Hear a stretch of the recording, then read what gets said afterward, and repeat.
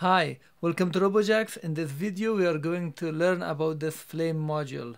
So this is a module that when it sees the flame, as you can see the buzzer is on and the light is on. So we will see to trigger something when it sees the flame. So let's get started. You can get the code of this project by clicking at the link at the description or you can go directly to robojax.com slash learn slash arduino. So this is the flame module. We have four pins here.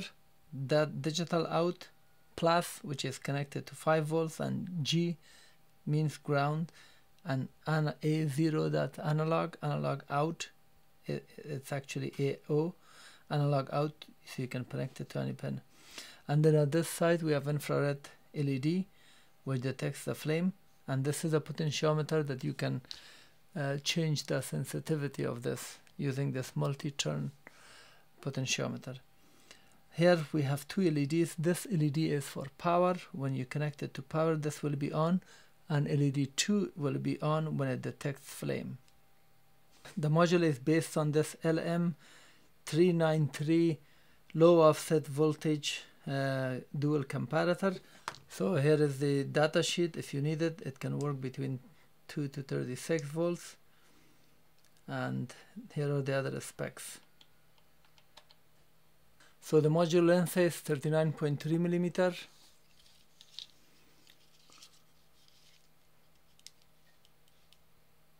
And the width is 15 millimeter. The depth if you want to can include this potentiometer. So 11.8 millimeter. So let me explain the code now uh, we are defining pin 2 for the flame input so we call it flame. This is just a text that we put but we, uh, as a constant and we will not change it. So you can set anything between 2 to 13 for these two values. And pin 8 is for alarm so this will go for buzzer or also a light or relay whatever you want to trigger with.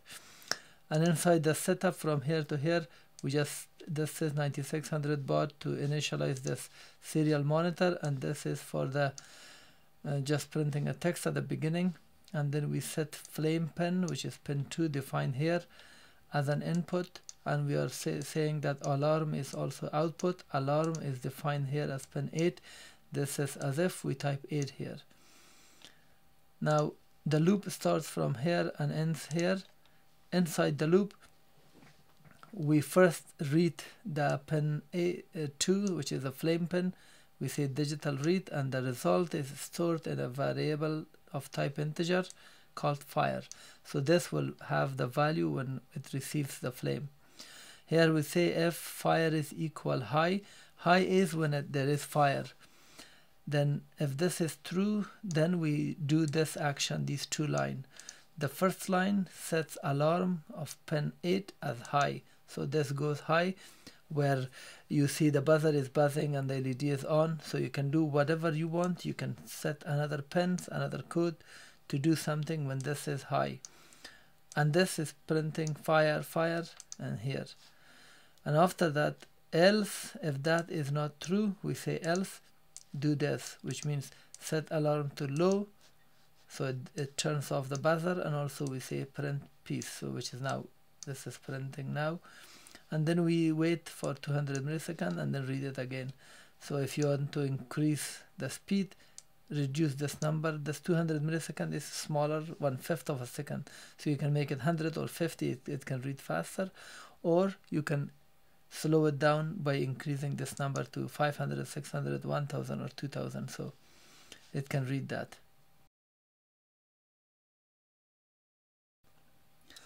so now I'm uploading the code. You will see the result here. It says RoboJax test and then peace peace peace because there is nothing. Now when I turn this flame on you will see that this light goes on and this buzzer will turn on and this LED also will go on. And you will see also on the screen that when it says fire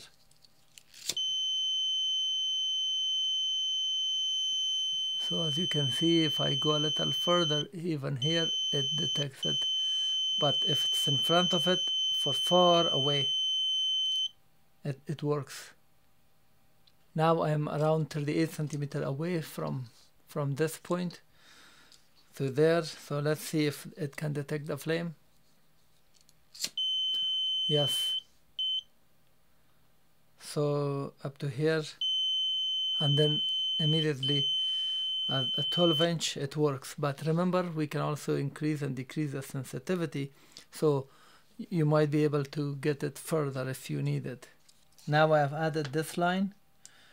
This is connected to analog read analog A0 as you can see as you can see here this pin the last pin is connected to A0 so now we are reading it. So this just reads it. So pay attention here.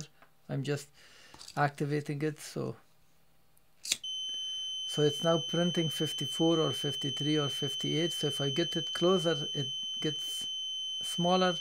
If I get further away it, it increases 300 or so. So amount of flame also the amount and the distance changes the analog so if you want to read that and utilize through analog you can do that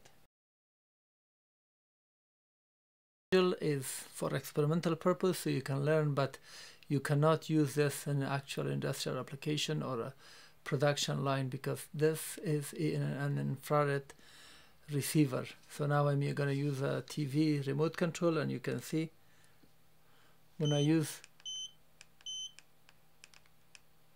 when I use a remote control it can send a signal and give you a false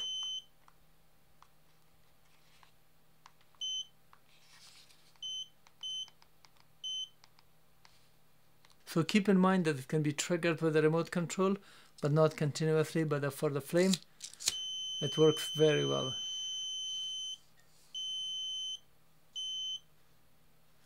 It should be in line of sight as soon as it's out of line of sight. So this was introduction to the flame module. Thank you for watching. Please thumb up the video, please share it, and also if you subscribe, I appreciate it.